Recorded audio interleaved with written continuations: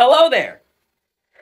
Yeah, this is how we're gonna do all my little discussion type videos now. We're just gonna do it in a mirror. Cause um yeah. But anyway, so this this little discussion type video is gonna be um a little little interesting topic. Raising Cane's.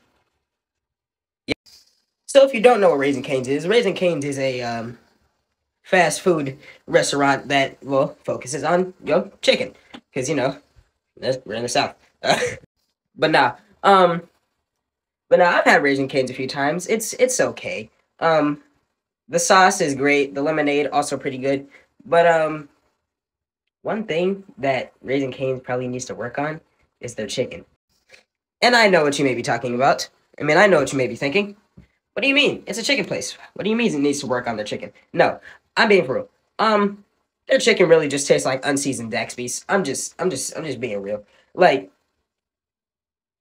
it just, it just, it's just, it's just not, it's just not seasoned. It just, it just don't, it just, it's just not, it's just not seasoned. I swear to you.